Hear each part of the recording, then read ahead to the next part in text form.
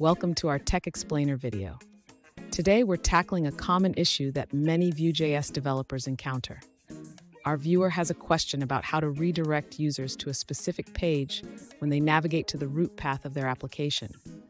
They want to ensure that when someone visits myapp.com, they are automatically redirected to myapp.com slash default view.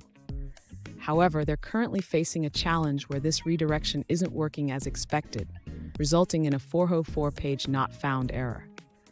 Let's dive into the details and see how we can solve this problem together.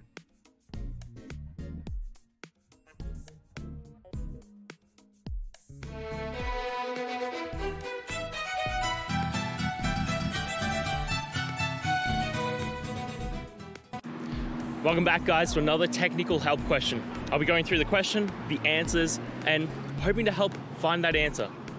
Guys, I hope you stay crazy just a little bit like me and get through and work to the solution. Now let's get started.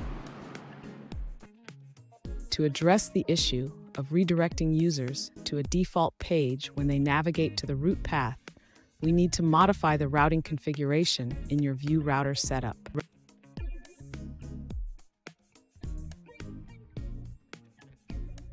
In your current code, the redirect path is set incorrectly. Let's change the redirect path from slash default view to slash default view without the leading slash.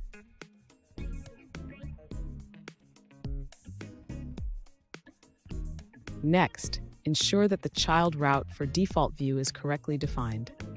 The path should not have a leading slash, as it is relative to the parent route.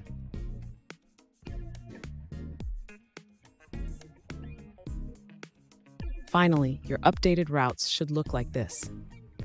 Make sure to test the application after making these changes to confirm that the redirect works as expected.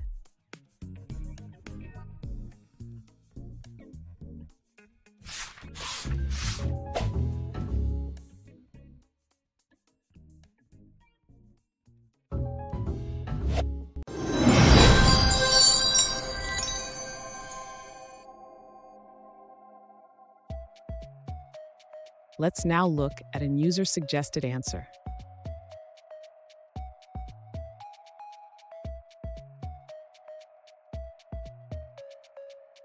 To resolve the default path issue in Vue Router, you can set up a redirect. This user demonstrates how to redirect the root path to the home component.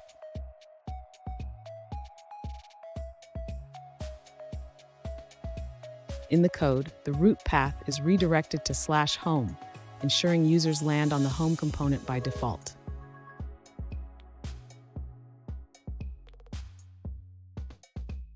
The user also includes additional routes for live agent, bot, and user components, making navigation straightforward.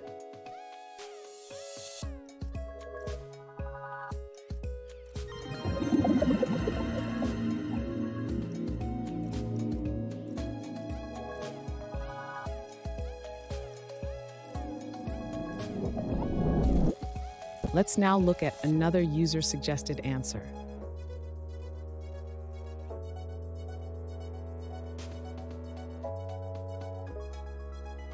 To redirect to a default path in Vue Router, you can simply use one line of code. Just add router.replace with your desired path.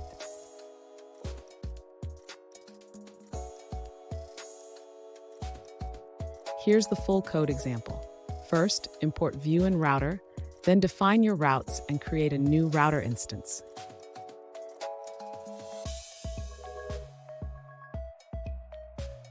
Finally, don't forget to export your router instance.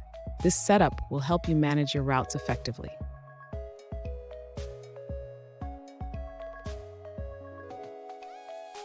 And that's it guys. I hope the video has helped find you to that resolution and you're able to get through your problem. If you did, guys, please hit subscribe. I really appreciate it. It does help me out. And until next time, have a good one.